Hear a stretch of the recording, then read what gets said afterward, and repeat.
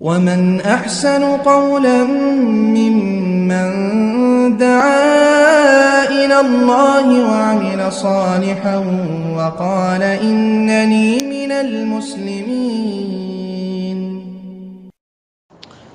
আসসালামু আলাইকুম রহমতুল্লাহ বরকাত বিসমিল্লাহ আলহামদুলিল্লাহ ওসালাত ওসালাম আল্লাহ রসুলিল্লাহ আম্মাবাদ আজকের যে বিষয়টা নিয়ে আলোচনা করব সেটা হচ্ছে বিড়ি, সিগারেট, জর্দা, তামাক, সাদা পাতা, এগুলো বিক্রি করে, উপার্জন করা যায় হবে কিনা?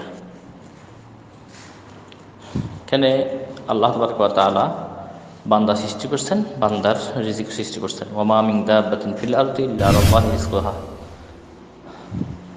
যে পৃথিবীতে যত যে জীবজন্তু আছে, সবারই রিজিকের জিম্মাদার আল্লাহ তবরক তাআলা।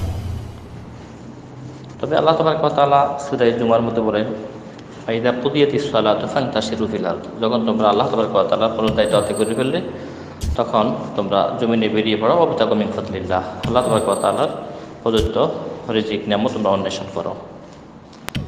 আর একটি হাদিসে আছে, হাদিসটি সনদের দিক দিয়ে দুর্বল হলেও, যেহেতু কোরআন এবং সহি সুন্নার ফুল অর্থ দিক দিয়ে মোতাবেক, সেটা হচ্ছে যে তলবু ফজবিল হালা আলী ফারিজা বাদার ফারিজা আল্লাহ তবরক তাআলা স্বাভাবিক সালাদ সিয়াম, রোজা, হজ জাকাত এগুলার আদায় করার পর যে গুরুত্বপূর্ণ একটা ফরজ হচ্ছে হালাল ইনকাম করা। হালাল উপার্জন এটা ফরজ।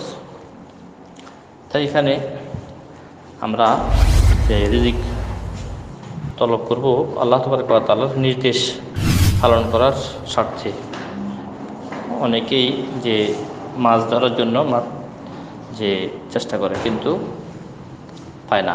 এতে কিন্তু না পেলে সে গুণাকার হবে না, কারণ সে ফরজ দায়িত্ব আদায় করছে। তাই ফরজ দায়িত্ব আদায় করা সেটা হচ্ছে আমাদের সকল আবাদত। আল্লাহ তবরক তাআলা আমাদেরকে নির্দেশ দিচ্ছেন হালাল ইনকাম করার জন্য। হালাল ইনকামে যতগুলো পথ আছে আমরা নিজের সামর্থ্য অনুযায়ী আমরা চেষ্টা চালিয়ে যাব। এর মধ্যে যে আমার নসিবে যদি থাকে রিজিক আসে যাবে না অন্য পন্থা থেকে আল্লাহ রিজিক দিয়ে দিবে। আমার চেষ্টা দেখবে সৎপথে উপার্জনের চেষ্টা চালিয়ে যাবে সেটা ফরজ।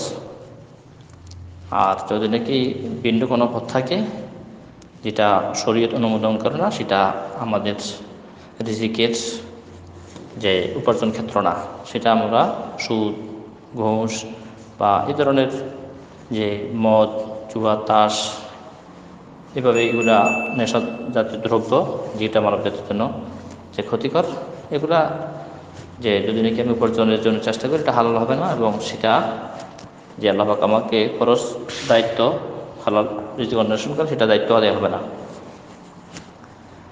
তাই আপনাকে আমাকে অবশ্যই যে রিজিক তলব করব আল্লাহকে নির্দেশ আলাদা পালন করার জন্যে। আর এতে আমার যে আমার পরিবারের পরিজনের খরচ খুশের ব্যবস্থা আল্লাহ তাবার কথালাইয়ের মাধ্যমে করতে পারেন বা ভিন্ন কোনো পন্থায় করতে পারেন। তবে আমাকে হালাল তরিকাতে যে চেষ্টা চালিয়ে যেতে হবে। আর যে বিষয়টার সাথে খেয়াল রাখতে হবে, আল্লাহ তাবার তালা আমাদের জন্য যে কোরআন পাঠিয়েছেন, সে কোরআনের সুরে মায়েদা সাই নম্বর আয়ত আল্লাহ তাবার তালা বলেন যে ইয়েস আলু নাকা মাজা ওহিদাল্লাহম কুল ওহিদাল্লাহম তৈবাদ আপনাকে জিজ্ঞেস করা হবে, কি হালাল করা হয়েছে? আপনি বলে দেন যে, পবিত্র জিনিস তোমাদের জন্য হারাম করা হয়েছে। সুরা আরাফের একটা ইয়েতে আছে, যে ওয়াইহিল্লুল তৈবাদ ওয়াইহারিম আলমুল খবাইস তোমাদের জন্য রসুল সাল্লাহ আলি সাল্লাম পবিত্র জিনিস হালাল করেন এবং খবিস জিনিস হারাম করেন। আর আমরা জানি তামাক জাতীয় যেই বিড়ি, সিগারেট, জর্দা এগুলো আসলে খবিস জাতীয়, এগুলো পবিত্র তা কেউ বলে না, ডাক্তার, ডাক্তাররাও বলে না মুসলমান মুসলমান, সবার নিকট এগুলো ক্ষতিকর। তাই এগুলো হালাল পাওয়ার বিষয় না। আর হাদিসের সারমর্ম আছে যে ইন্দাল্লাহ আজাবাজাল্লাহ ইজা হারামা আকলা শাহিন হারামা সাবানাহু আবু দাউদ, হাদিসটি আছে তিন হাজার ছাব্বিশ নম্বর হাদিস, এটা হাদিসটি সহি। যখন আল্লাহ তাবার কোথাও কোনো জিনিসের খাওয়াকে হারাম করেন, তখন তার বেচা কেনাকেও হারাম করে দেন। তার উপার্জিত যে অর্থ, সেটাও হারাম হয়ে যায়। তাই আল্লাহ তাবার কথা বলেন ইয়াই নাস কুরু মিম্মা ফিল আলতে হালালাং তৈজিবা ওয়ালা হে লোকেরা, তোমরা জমিনে ওই সকল খাও যেগুলো তোমাদের জন্য হালাল করা হয়েছে, পবিত্র করা হয়েছে এবং শয়তানের পথ তোমরা কি করবে না? যে অনুসরণ করবে না। ইয়া ইহাল্লাদিনা এমন কুলু মিন তৈবা যে মারজাকুনাকুম হে ইমানদাররা তোমরা আমার প্রদত্ত পবিত্র জিনিস তোমরা খাও। তাই আমরা বলব, বিড়ি, সিগারেট, চর্দা, তামাক, এগুলো হারাম বিষয়।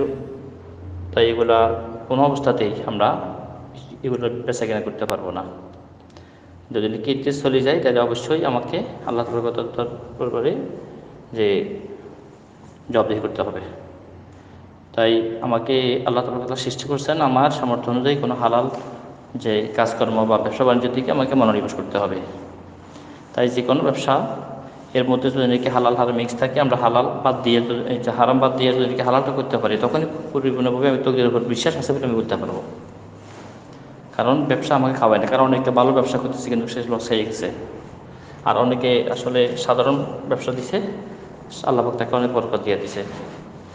তাই যদি নাকি আমরা এগুলা বর্জন করি, আল্লাহ তালা পাতালা বরকতের আশা করব। আর এগুলো দিয়া, যদি নাকি হারাম জিনিস দিয়া ব্যবসা বাণিজ্য শুরু করে দিলাম, এটা আসলে আমার নজরিয়াতে আমার যেই ধারণা মতো হয়তো বেচা কিনে বেশি হবে, কিন্তু এর মতো বরকত থাকবে না।